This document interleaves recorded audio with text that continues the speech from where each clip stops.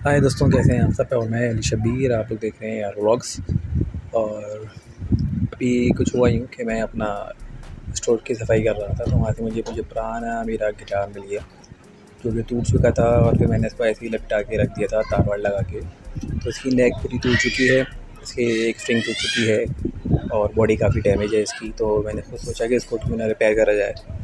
तो अपनी हाथों से इसको रिपेयर करूँगा आज। और आप लोग वीडियो एंड तक देखिएगा ये इसकी स्ट्रिंग्स मैंने खोल दी हैं सारी। और अभी बेचारे हालत में पड़ा हुआ है।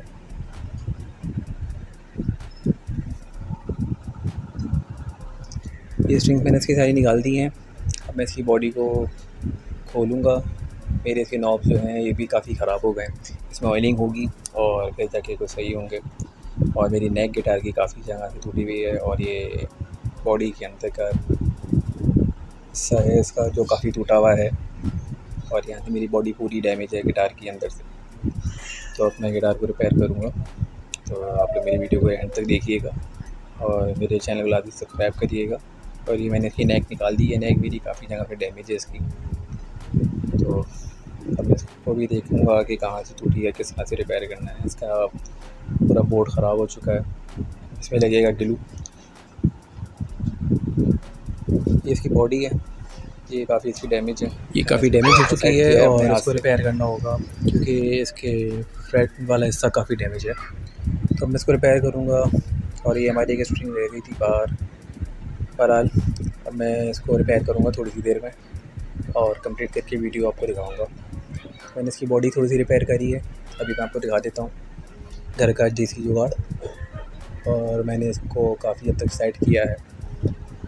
इसकी मैंने बॉडी को अंदर से सेट किया है, बाहर से इसको मैंने कीले लगाई हैं और उसमें ग्लू लगेगी एल्फी लगेगी और ये इसकी बैक साइड है। अभी वीडियो में पहले आपने देखा था कितना टूटा हुआ था ये सारा, साइडों से अंदर से। तो ये मैंने काफ़ी हद तक इसको तो रिपेयर कर दिया है मैंने। देख सकते हैं आप इसको।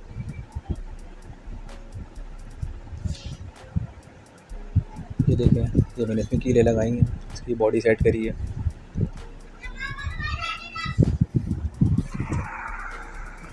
और फाइनली ये इसकी नेक है।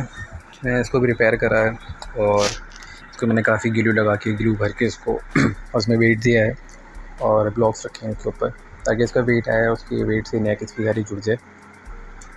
जैसे कि नेक इसकी जुड़ेगी फिर मैं इसको वापस इसकी गिटार पे बॉडी पे फिट करूँगा इसकी स्ट्रिंग्स लगाऊँगा। तो वीडियो एंड तक लाजमी देखिएगा वीडियो स्किप मत करिएगा। वीडियो एंटर तक लाजमी देखिएगा।